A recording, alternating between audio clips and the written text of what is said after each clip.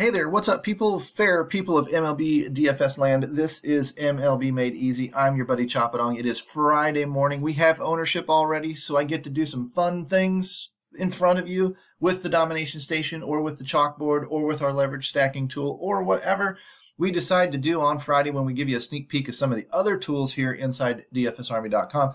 Uh, one stop shopping, all things daily fantasy sports. See the description. Use the coupon code CHOP, C H O P. Get that 10% discount that brings you some savings each and every month. And consider becoming a VIP. While you're in there, why don't you throw a little tip in my jar? Like and subscribe to the video. Maybe throw me a comment. Let's talk. Let's have some fun. Whatever the case may be, my job's to make you a better DFS player. I start by going through a routine every single day, uh, Monday through Friday anyway where we're going to set a repeatable process, something that you can count on, something that's going to trim the fat off the slate, if you will. Target good pitchers, target good stacks, and target hot hitters.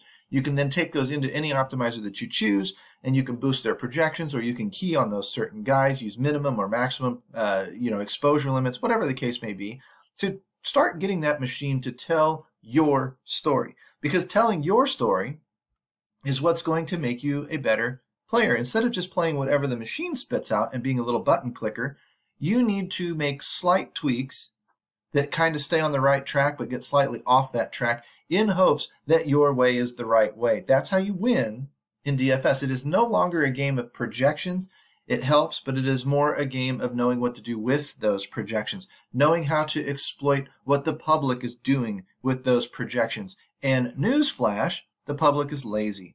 And when the public is lazy, they tend to just button click. And if you know what buttons are clicking or what the machine is producing when they just click those buttons, you can make slight pivots that have equal chances of producing at lower ownerships, which is actually going to give you better winning chances. That's simple. We talk about that. We lay that out in video format, in chat format, in whatever format it helps you absorb the information inside our DFS Army program. Let me show you the routine, then we'll dive into some of the other tools.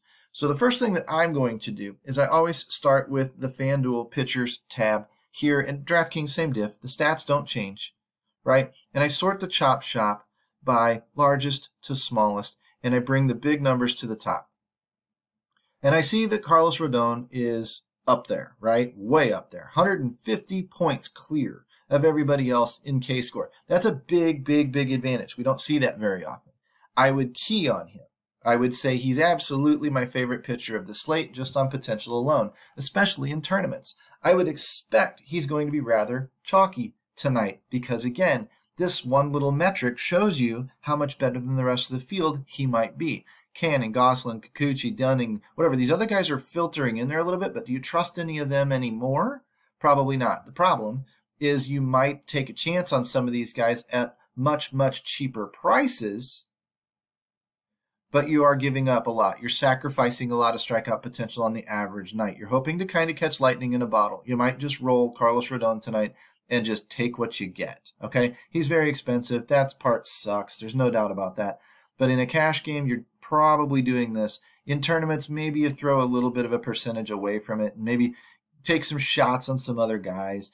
Um, somebody that would be, you know, it, it, imagining the field really likes him and really likes the other direction, which would be well, if I'm if they're going super high price, I'll go super low price. I've got some potential in Canning and you know Gonsolin and Kikuchi or whatever. Kikuchi's not exactly low price, but Dunning, whatever, right? What that's going to do is it's going to send the field in two different directions sometimes. Sometimes they're all going high or low, in which case you go slightly low. Valdez might be the forgotten man. You know, uh, Kikuchi might be the forgotten man. So these are scenarios where those guys make sense in tournaments because you still get the same build of bats that everybody else gets because you're not that much under in price point on the salary. But you know, you got to have Rodon fail and you got to have Kikuchi go off for that to work. I don't know how you feel about that, about taking that gamble. But if you're trying to win a nickel tournament and be the perfect lineup over 130, 150,000 people, you're going to have to take some chances like that, definitely, to make that happen. Now, that said, we're going to look for stacks and who we like in our stacking scenarios. And we do that by going largest to smallest on the W score. W score, in, in the description, I do K score and W score in a bonus video explained to everybody. So if you have those questions, dive in there and, read and, and watch that video. But now Matt Harvey jumps to the top. He's going to get thumped. He typically does. Jake Arrieta, Manoah, Crowe, Crowe, whatever, Cueto, Lester. Cueto's interesting. Lester, Smiley. These are the guys that you should be stacking against.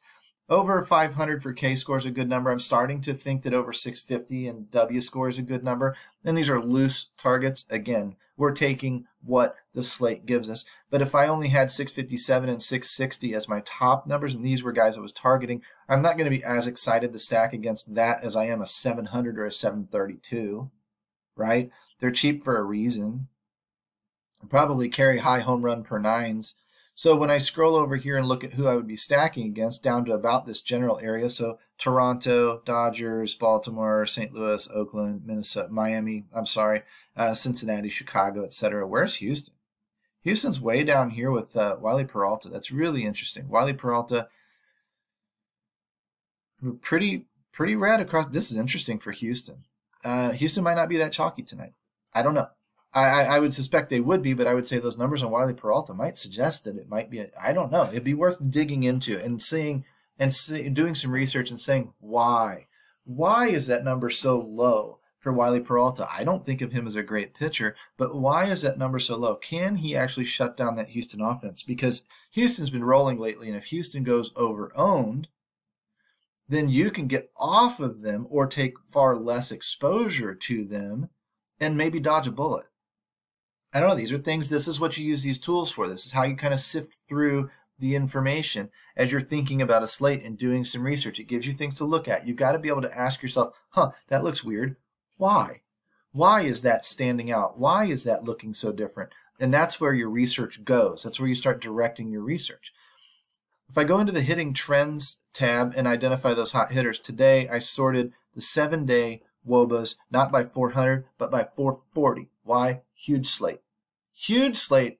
The cream is going to be at the very, very top. And we can now it doesn't mean a 420 is bad or a 400 is bad. You want to include those guys too, but we can't go adoring everybody in these optimizers, giving them three thumbs up or giving them boosts or whatever. We can't go do that for everybody. Otherwise, it waters down the basic overall projections that we actually know from algorithms and sporting models and things we know are actually pretty good.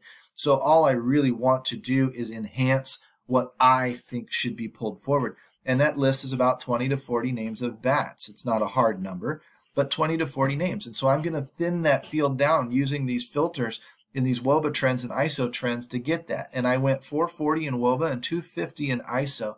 And that finally cut this list down to, I don't know, 20 to 30 names or so. These are the people that I would then boost in the projections. Now, if the projections like somebody who's hitting a 410 WOBA over the last seven days, fine. I will let him in my lineups, no doubt about it. But I've got a Baltimore, a Boston, Chicago, Cincinnati, Cleveland, Detroit. See onesies, two Houston guys, which is interesting because when we were at 400 and 200 instead of 440 and 250, there were a lot of Houston guys, right? So you still want to include lots of these guys if you think they're going to be performing tonight. Uh, LA, Miami, Minnesota, New York, Oakland. It doesn't look like many people. Oh, San Diego's got four dudes over 440 and 250. That's huge. If Corbin Martin is somebody that you want to attack, these are the bats to be doing it with for sure. Uh, San Francisco, Tampa Bay, Toronto is interesting because they've been playing well lately too, and there's only one guy that makes this list. The others are probably just slightly under the radar.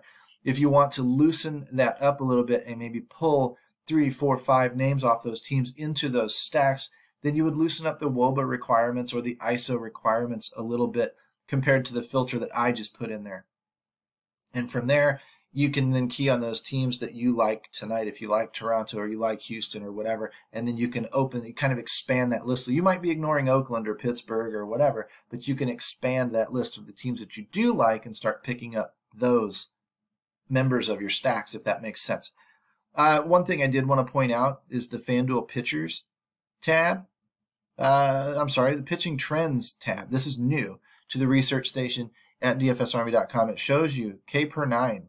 It shows you how the guy does over the season, over the last 40 days, which is, you know, 10 starts, the last uh, 20 days, which is four or five starts ish and then home run trends and ERA trends and all that kind of stuff. And you can use this in a couple of different ways. Number one, you can see Carlos Rodon's been pretty consistent over the year or you know season, 12.8, 13 strikeouts per per nine innings. He's run a little hot the last 40 days, run a little cold the last 20 days. But nothing out there to really alarm you or get scared about. You might look at a Kikuchi and say nine usually, and he's running hot at 10. Okay, maybe you like Kikuchi a little bit more as a pivot tonight. Manaea, same bit.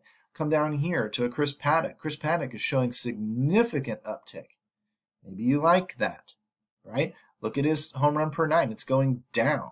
Look at his ERA per nine. You know, it's going down a little bit. So maybe he's an ascending player, which maybe means he's a little underpriced for how he's been performing lately, and you should maybe key on him in tournaments. That's what these tools point out. I can also look at like the home run per nine and see a guy here like Manoah, 2.6, 2.6, 2.5. He's still up there giving up a lot of bombs. I can also pick up a Johnny Cueto, 1.2 on the year, 1.6 last 40 days, last 20 days has been getting absolutely rocked. Maybe that trend continues and you want to capitalize on that. There's two different ways to look at these trends ascending players and descending players. Ascending players you might want to use as your pitcher, descending players you might want to stack against. Okay? So let's dive in a little bit to the chalkboard and let's talk a little bit about where we might go in a cash game. Rodon carrying tons of ownership on FanDuel makes tons of sense, right? Top K score by a mile. That is should plan, pan out. Who's next though? And it's a significant gap. So in a cash game, Carlos Rodon, lock button, end of story. Don't get cute. Locks, lock button. Mike Minor, Paddock. Paddock might be a pivot in tournaments, you know, Manaea, whatever. These guys that may show up on that K score or the home run trends or whatever you're looking at, these guys might show up and, and show positive regression. Something that might continue to trend in that direction might be a good thing, but that's a tournament play. Cash game play, this is a significant gap. You probably won't be using a catcher. If you did, Gary Sanchez isn't bad. Tyler Stephenson for cheap isn't bad, but they're not carrying a lot of ownership. They don't insulate you a lot. I like using these as blocks.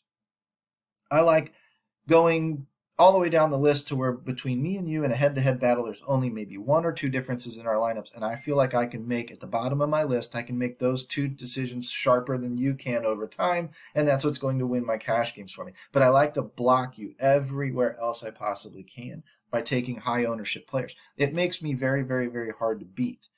I don't win all the time, and I'm not the best cash game player in the world, but I'm hard to beat. I'm not dead money. I have a punch, a fighter's punching chance every time I line up a lineup and, and roster some players, okay?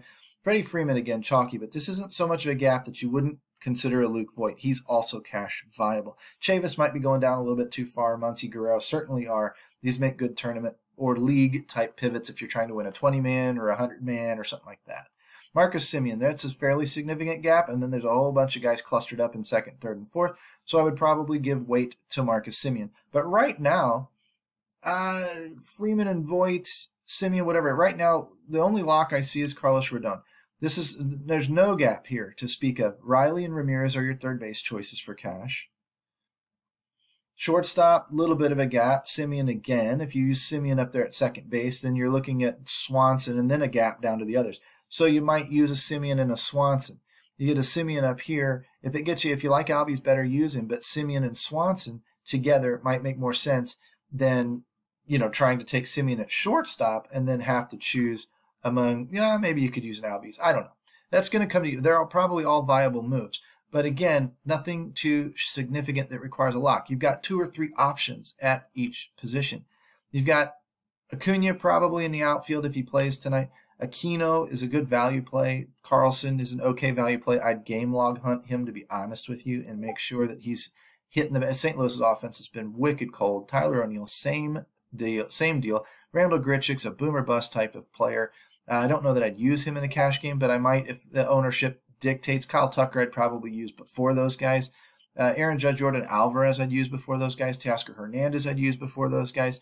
Um, so I'm in the same ownership ranges of these guys, but I'd probably have to use an Acuna if I can afford him. I would certainly use an Aquino would be a lock play. So Marcus Semien, Aquino, Carlos Rodon, those are the players that I would really key on. They'd be in all of my cash game lineups probably, and then I would I would start making pivots from there. I like taking those those players and getting slightly off. You know, we're maybe in a position where I don't take uh, Austin Riley, I take a Jose Ramirez instead, or maybe I take some of these little bit lower owned outfielders. You know, instead of an Acuna or something like that, and that builds me slightly different than everybody else, and that's where I make those one or two pivots different than somebody else, and that's where I tend to separate myself in cash games. Hopefully that makes sense to you. If it does, come talk to me inside dfsarmy.com. Coupon code CHOP, C H O P. Have a good Friday, and we'll talk to you guys through the weekend. Peace out.